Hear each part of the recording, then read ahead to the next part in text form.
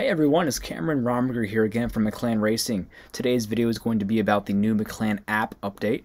This update now enables you guys to be able to save your tunes as well as then reload those tunes so you can have a backup ESC with the same tune or you could load your ESC tune onto your friend's car or your backup car, you name it. This was a highly sought after function in the Maclan app, so we went ahead and we made it happen. So I'm going to show you a quick tour of the new functions and how to use them and what they do. So without further ado, let's get into it. Alright, so here we are at the main page of the Maclan app. Um, this app update is available for both Android and iOS devices. I'm currently using my iPhone with my wireless link module. If you guys need help setting that device up, we have a video on how to do that. Alright, so most of the new features will be in the programming and the data logging tab. I'm going to start off in the programming tab. As you can see, there's a couple new buttons at the top. We have export, import, edit profile name, reset, and save. So all those buttons are pretty self-explanatory, but I'll go through each function to show you guys how they work. So the most easy one to guess is the edit profile name. Um, so now you can rename any of the presets to a different name. Um, so you can name this, for example, let's just name this carpet. We can name this the carpet file. Um, and also be mindful that the name has to be shorter than 26 characters. If you keep typing more than that, it's not going to let you save it. So make sure it's less than 26 characters. So let's go ahead and rename this carpet. Hit done. And now that file is saved as carpet on your list of tunes.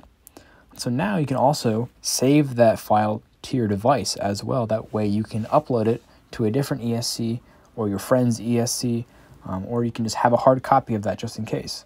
So you can go ahead and hit export. On iPhone, there's going to be a special button on my iPhone and then select Maclan SmartLink. Um, you can save it anywhere, but we have a folder dedicated just for this. Um, so I'm going to use that. Then hit the top right, hit save. And now that carpet file or the, the entire tune will be saved on your phone. And now you can also import files too. So you can overwrite any of these files with the files you have exported. So let's overwrite um, Touring Car Blinky. Um, say you're never going to run this class, so you can go ahead and rewrite it or overwrite it with a different file. Let's overwrite it with the carpet file. So now um, pretty much we have two files, two presets of the same tune. So now you can maybe say this carpet, rename this to carpet no boost. So I'll start showing you what the save and reset buttons do. So re you rename this to carpet no boost. You can go to timing. Let's change the timing. Change the timing on turbo. And then now you have to hit the save button. So I'm going to go ahead and hit save. And now that tune is then sent to the ESC and it's saved. All right, and now on to the reset button. The reset button is going to change the tune back to how it was as a preset, um, even though you renamed it. So this carpet file used to be off-road two-wheel drive modified carpet, and I just renamed it to carpet. So if we go ahead and hit reset, it's going to change the entire tune back to the preset. However, the name will still say carpet. So you can go ahead and change this back to off-road two-wheel drive modified carpet. Um, but I'm just going to keep it carpet just for just for now. Just keep that in mind. If you ever mess up a tune, um, and you want to hit reset, the name's not going to change. It's going to stay the same as to whatever you renamed it. All right, so that's pretty much it for the programming tab. Let's head over to the data logging tab. Um, as normal, you can hit load data, load from ESC. Now it's going to pull data off of the ESC onto the phone.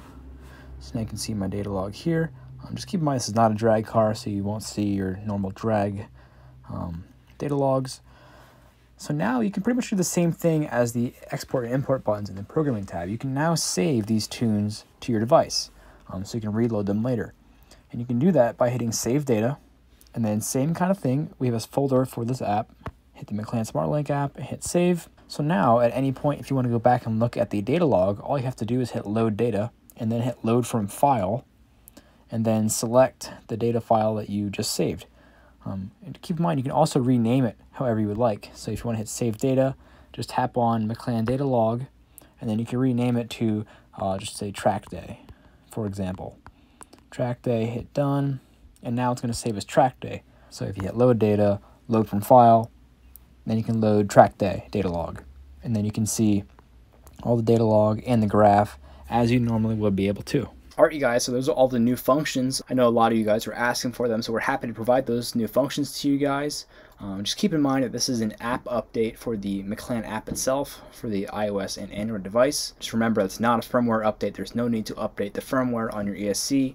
It's just an app update, so no need to update your firmware. You guys know the deal. Go make some passes, go do some laps. Happy racing. This is Cameron Romberger from Maclan Racing. You guys take care.